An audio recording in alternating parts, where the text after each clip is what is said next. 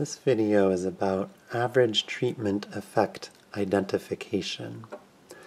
So I have an example here of potential outcomes, similar to a previous video, where the black cards represent treated potential outcomes and the red cards represent untreated potential outcomes. Um, so again, each pair is one individual. So for example, uh, for this individual, if they're in the universe where they're not treated, their outcome is 5. If they're in the, out, in the universe where they are treated, their outcome is 7. Um, and we're assuming the stable unit treatment value assumption holds, so those uh, potential outcomes don't depend on anybody else's treatment status, only that one individual's treatment status. So imagine that this particular treatment is something that individuals can choose. And imagine that the cost is extremely low. We'll say zero just to make it simple.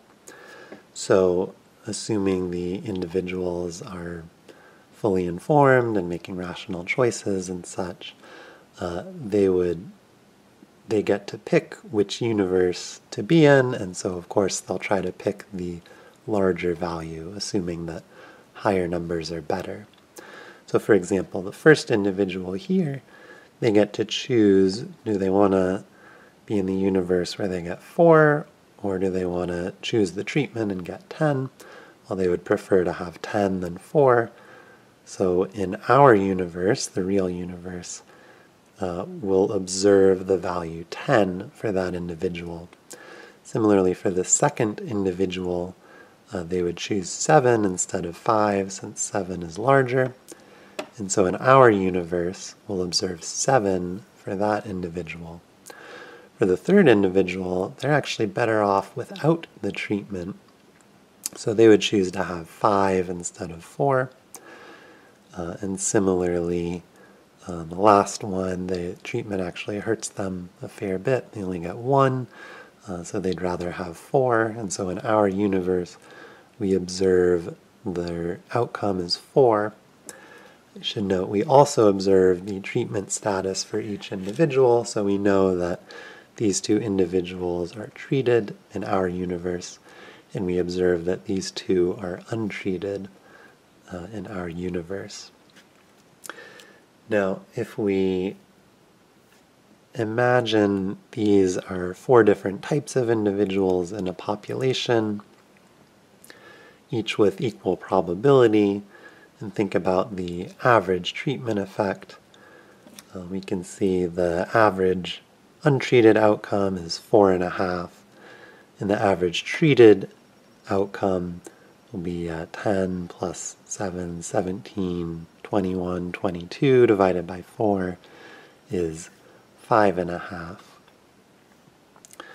Um, so 5 and a half, 4 and a half, there's a positive 1 average treatment effect. Um, so that's a population value that has a causal meaning, but is not something that we can observe because we only observe the 10 and the 7 here and the 5 and the 4 here.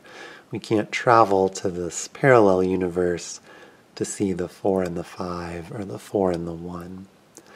So when we look at the real world in our universe, if we look at um, the observed treated outcome values, we see 10 and 7. The average is 8.5. We look at the average untreated outcome values, we get 4.5. So the 4.5 is actually the same as in the population, but the 8.5 is much larger than the 5.5 average treated outcome in the population because individuals are allowed to choose whether or not to be treated. So there's this uh, self selection into treatment for individuals who benefit a lot from the treatment. And uh, I guess, self-selection out of treatment for the ones who are hurt by the treatment.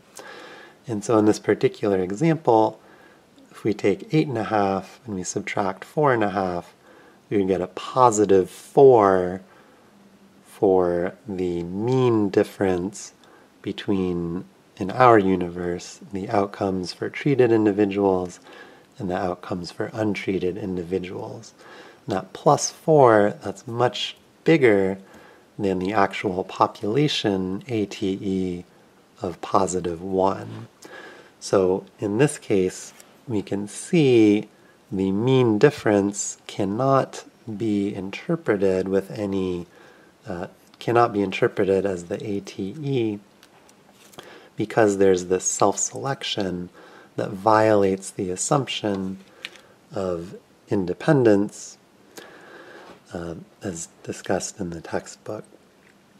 So instead, if we wanted uh, to be able to estimate the ATE, if we could, if it were feasible to run a randomized experiment where for each individual we got to choose which value to observe, then we could randomize the treatment and then we could get basically a random sample of the treated potential outcomes and a random sample of the untreated potential outcomes.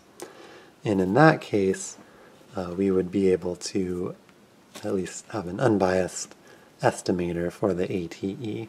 Obviously, in any particular sample, it could be higher or lower, um, but we wouldn't be systematically biased. Um, and at least if we had a large enough data set, uh, we would be very close to the true ATE. So that is uh, some discussion of when the ATE is not identified, um, in particular due to self-selection, and then how randomization can help identify it.